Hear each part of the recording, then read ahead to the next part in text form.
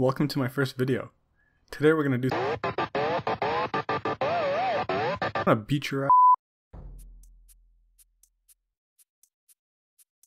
First, I just wanted to say that I used to have a YouTube channel where I would make cybersecurity related stuff. However, I wanted to start fresh, which is why I made this channel, which you should totally subscribe to, by the way. Like I was saying, today, bruh. Like I was saying, today we're going to talk about a buffer overflow and how to exploit it. Well, what is a buffer overflow? Let's pretend we were beginners and we tried to Google this. Let's let's see what would happen. Ah, ah, No wonder you clicked on this video. That is ugly as. F- and I love it. Listen, what do we as ethical hackers love more than anything in this entire world? Exploits. Now, what could be more beautiful than an exploit this close to the bare metal of your computer? Well, whatever you're thinking, it's wrong, okay? Because there's nothing more beautiful than an exploit this close to the bare metal of your computer. Credit where credit is due. I'm not knocking any of those resources that I showed. Uh, I think they're fantastic, and you should definitely give them a read or watch the videos. Pretty sure the way that I learned how to do buffer overflows was from the Cyber Mentors video. So there are definitely resources out there. I'm just adding onto the pile. Listen, I get it. When I was starting out, these buffer overflows were like the banes of every the banes the, the bane of the they were like the main antagonist of everyone's journey.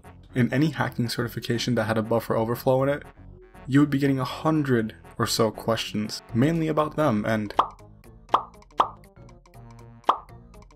yeah, I totally understand why. But some good news. Buffer overflows, especially the stack-based variety which we're going to be explaining today, only get easier the more you do them. They will become extremely intuitive after a couple times exploiting them.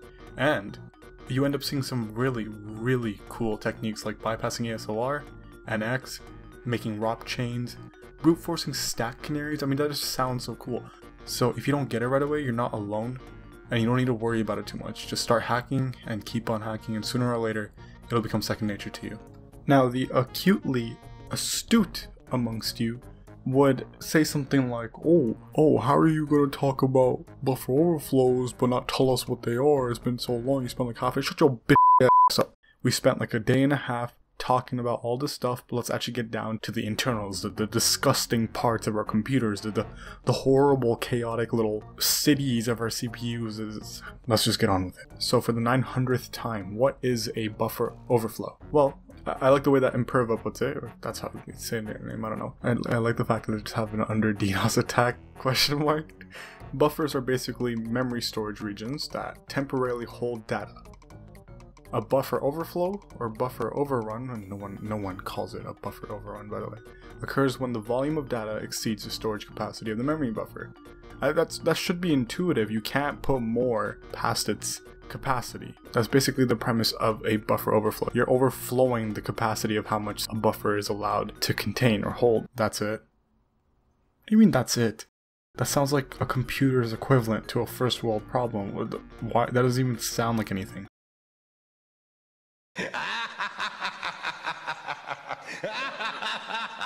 and that's why you'd be the perfect target. Luckily for you, however, modern compilers and languages do a pretty good job of making sure you don't absolutely shit the bed. You'd be surprised how the most seemingly boring and least threatening vulnerabilities give birth to the most destructive and ingenious exploits. The, the buffer overflow, although it seems like a I asked for a vanilla and you guys gave me vanilla with whipped cream type of problem. Rest assured these attacks are a glinting diamond in the sand for hackers. I know this seems super non-threatening, this exploit seems super just arbitrary, a, a computer science experiment gone wrong, but listen, where do you think those extra bytes that you supply, where do you think they go? Those extra bytes have to go somewhere, and you're writing over very important which as we'll see, will be our way in. Speaking of which, if you have a computer somewhere out there, or if is just your computer, and you've got a program running or something running and it's vulnerable to this buffer overflow, like for example, you have a, a program running on your computer that's asking you for a password, but you can overflow it. This vulnerability could be the reason why someone either gets into your machine or someone escalates their privileges on your machine. And that's it. Once you've privilege escalated, you have full control. You have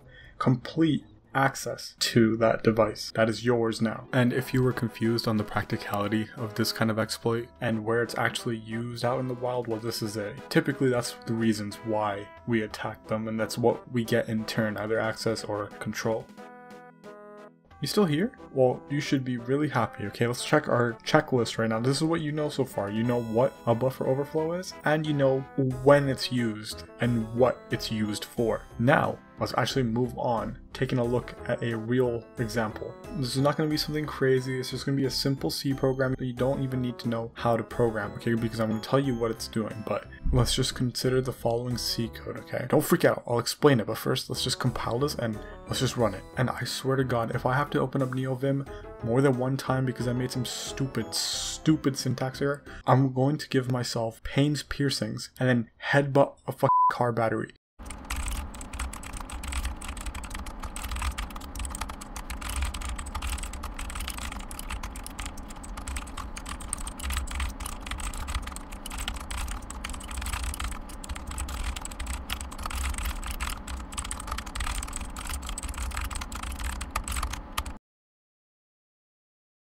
Okay, the compilation was fine, everything was fine, we did this with no problems.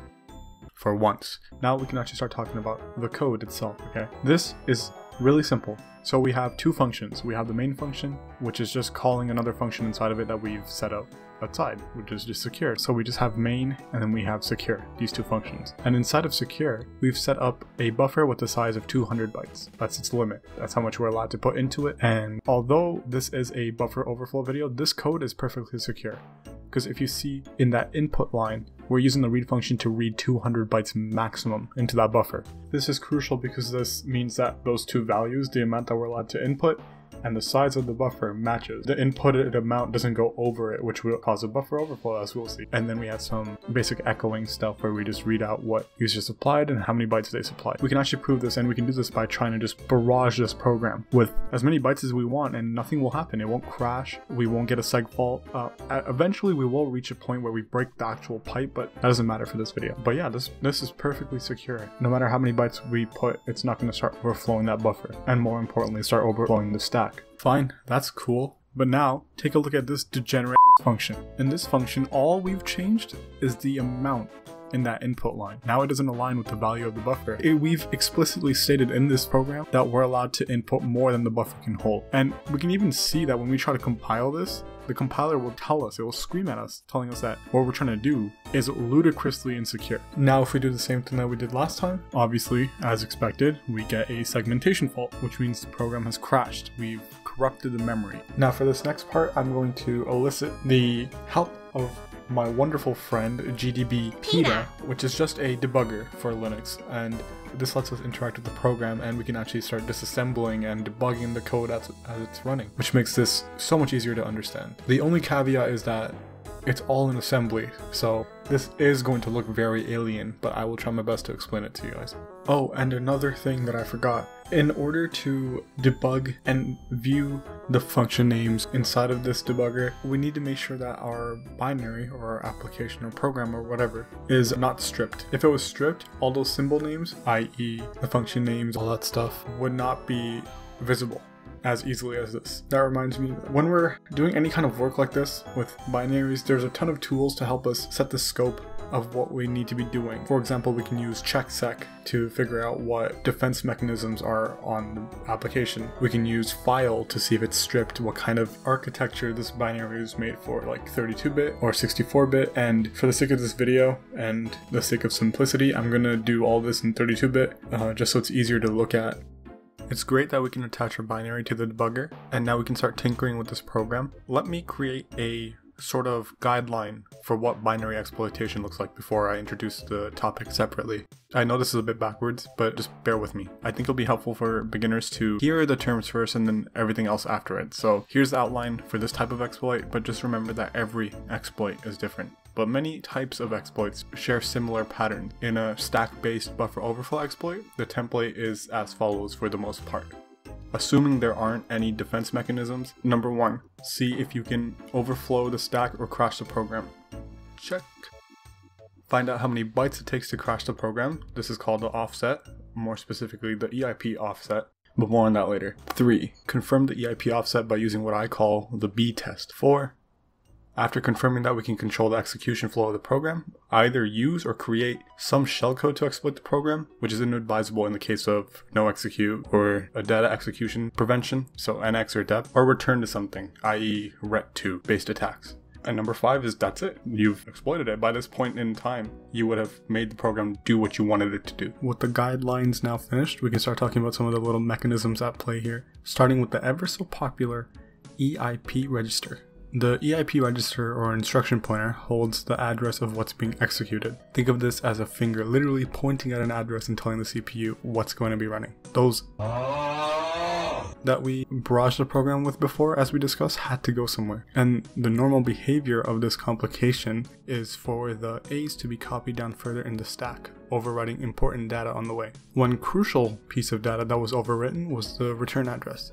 A return address is used so that after a function finishes executing, it can return control to the original caller. In other words, it's important because without it, a program literally can't return to itself to finish running after calling a function. Well, how does this return address show up in the first place? Let me introduce you to the call instruction. The call instruction places the return address of a function at the top of the stack. So when a function is called with the call instruction, the return address of said function will already be on the stack waiting to be put into the EIP register so that the function can exit and return execution flow to the original program. The return instruction takes the value from the top of the stack, i.e. from the stack pointer or ESP register, and it puts it into the EIP register, which will then get executed and thus the execution flow is restored and the function exits or returns. Obviously this is very technical stuff and please don't be afraid to rewatch parts you're not completely understanding yet and better yet try to follow along but at your own pace. It's taken me a pretty long time to get comfortable with it, but just remember persistence and exposure. Don't give up and keep surrounding yourself with these types of things, and sooner or later,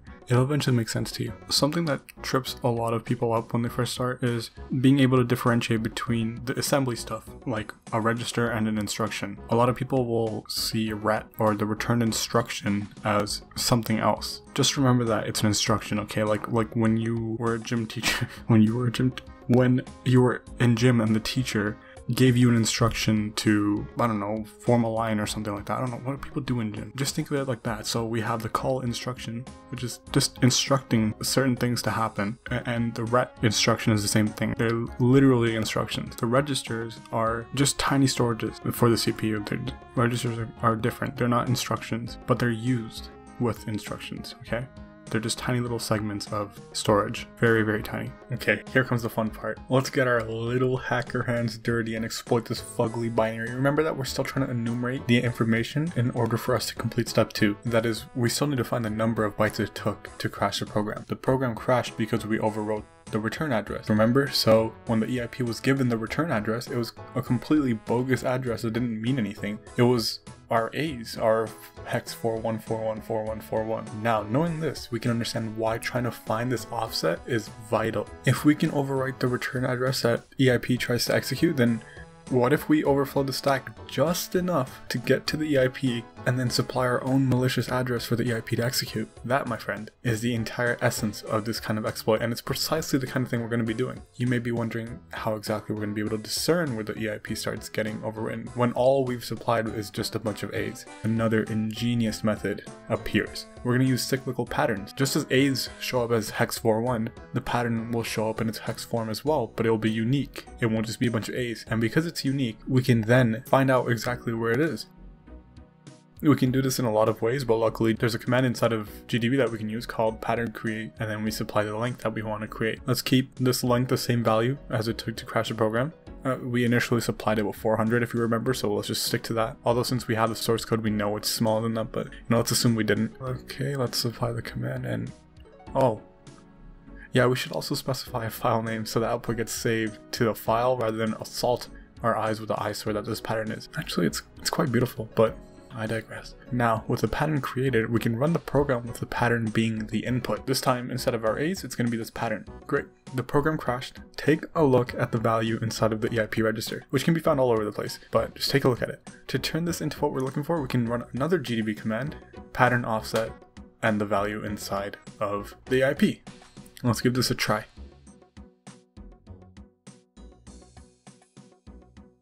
Awesome. We have our supposed EIP offset. That's step 2 done, and we're almost done with our enumeration. We now need to verify this value by utilizing what I call the the B test. This test is essentially using the newly acquired EIP value, or sorry, offset, and inputting 4 bytes after it to see if the, the expected value is actually inside of the EIP. If it is, it means we've successfully overwritten the EIP, and this means that we control the execution flow of the program, which is extremely exciting stuff.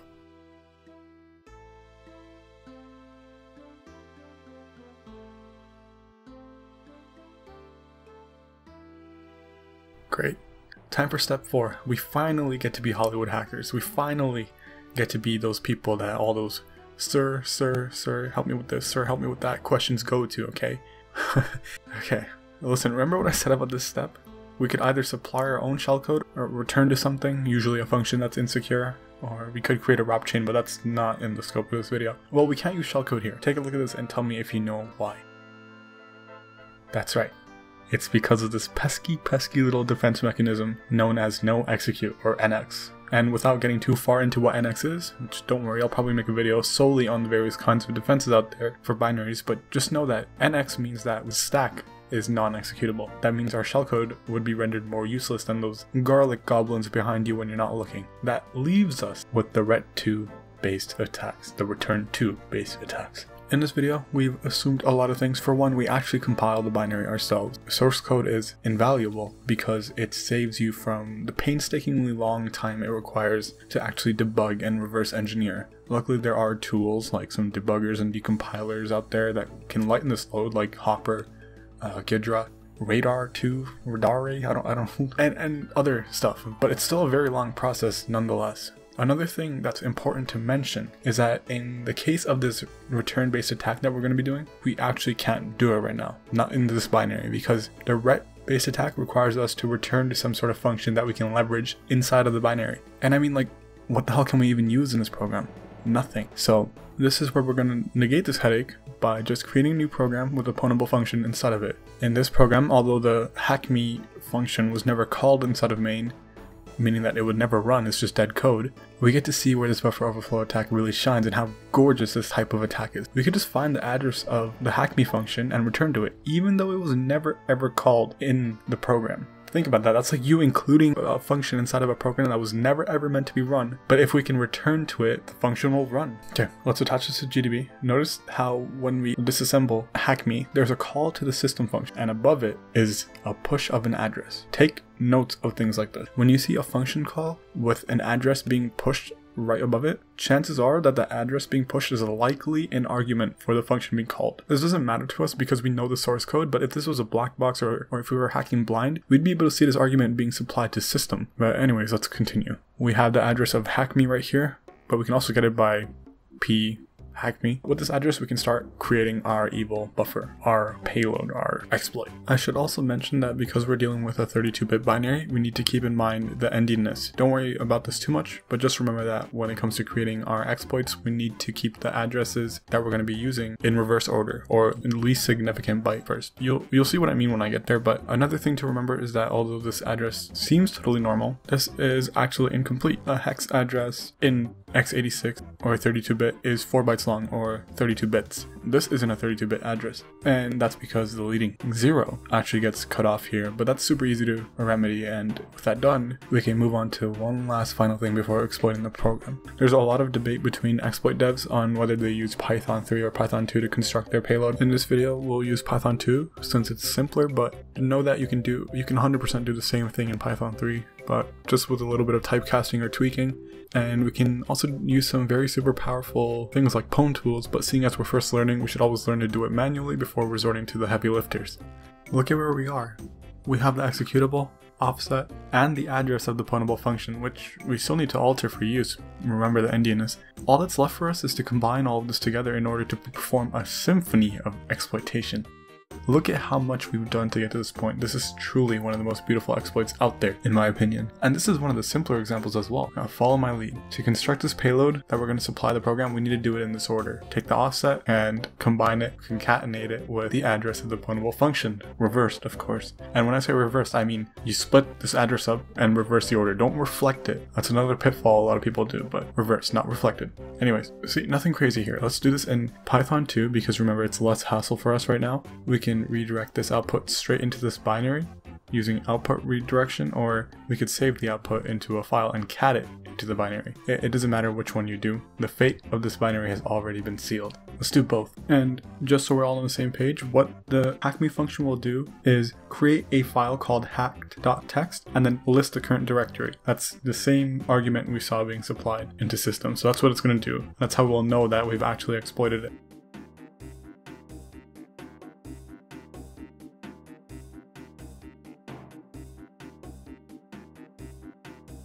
Look at that, we did it. We exploited the out of this program and leveraged a super awesome vulnerability. Give yourselves a round of applause, some pats on the back. As a bonus, I won't just leave you with all this information.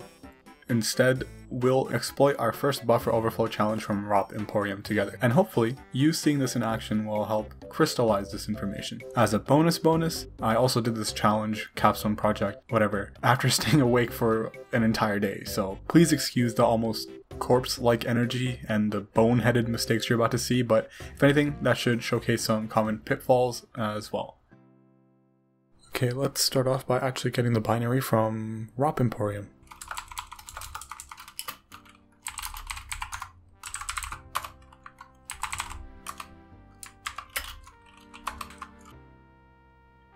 Let's just try this one, because this is along the same lines of what we've been doing this entire video.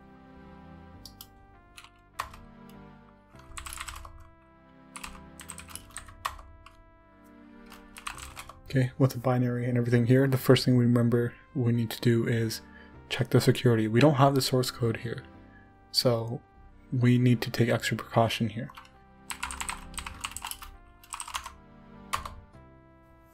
Okay, we can see that it's very similar to our previous example. We've got NX on it, which means that we can't use shellcode here, and that it's in 32-bit, so little endian. Let's interact with the binary. We can run strings on it to get more information about it as well. This just has all the symbol names in it. And I didn't know this, but strings actually will only show you these names if the, the length is 4 or higher, which is really cool. I learned that recently. But yeah, so this gives us thing. We see some text over here. This is probably what is going to get printed to us.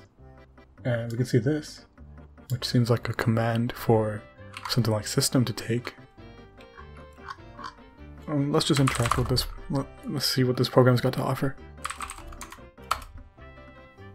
Okay, so we see from our first trick, I will attempt to fit 56 bytes of user input into 32 bytes of stack buffer. This is exactly what we've been learning so far, and we already know this is illegal, and I'm gonna call the cops on this binary, but uh, you there, may I have your input please, and don't worry about null bytes, we're using read. Okay, that's good, because null bytes is a completely different video in itself. Okay, let's just write. Nice, okay. So, that worked. Let's try to overflow this. I don't know how many bytes are there, so typically you wanna, you wanna start off that big, but, no. Okay, 100 was in, oh wait. Forgot that, you know, we really didn't need that money, but it's fine, whatever. So, we overflew the program.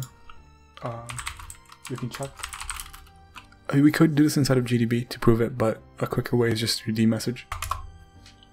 See, over here, we can see that there was a segmentation fault and I, the EIP, or the instruction pointer, had a value of these A's, which, as we know, remember, um, that is an A. Remember that. 41A. So yeah, so we know we can overflow it. Let's let's try to get a let's try to figure out what the offset is now.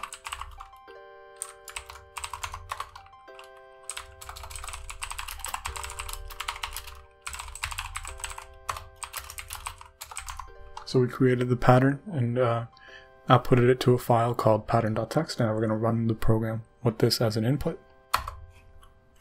As expected, the program crashed and our EIP currently holds a value of this. So we can see this in a lot of different locations. We can see this here. See the EIP here, right? And yeah, so let's figure out what the offset is. Uh-huh. 44 bytes before we start running into the EIP. And let's do the B test. So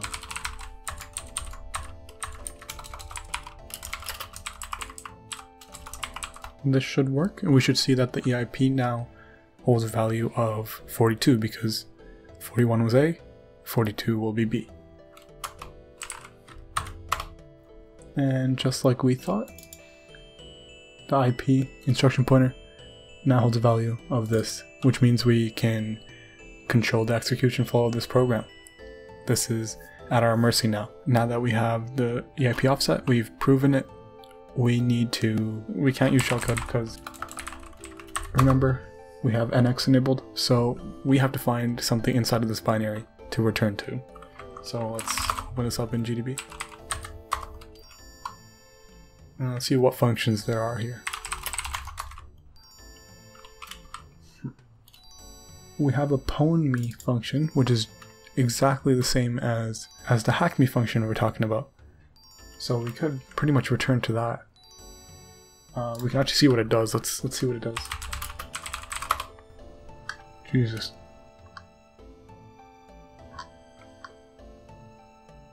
Ah, I see. So this is actually the thing that's asking us for our input. This is the insecure function. Uh, and I can tell this by seeing that it's outputting a lot. Right, remember, these are arguments. These are arguments.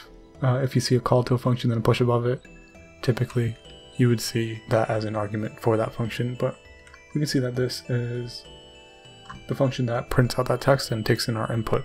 Remember that I was using read as well. So, so that's not it. Um, what about this one? What about write to win? Ah, this is a good sign. So we see a system. We see system being called. Let's see what system is being supplied with. Okay, so this is our way in. This is our way to exploit this binary. If we can return to this function, because remember, it didn't get called. This is just dead code here. If we can return to this function, this will print the contents of that flag. So let's get the address of write2win. So, I mean, it is right here, but, you know, it's good to exercise our GDB skills. So there's our address, and now we can start working on that exploit. So see how nicely that B test just allows itself to get replaced with our code. So, zero eight, and you might be looking at this and saying, "Where's that zero coming from?" But as we talked about, the leading zero gets cut off, so we do have to include this. Okay, otherwise it's not a proper, it's not a proper value, a hex address.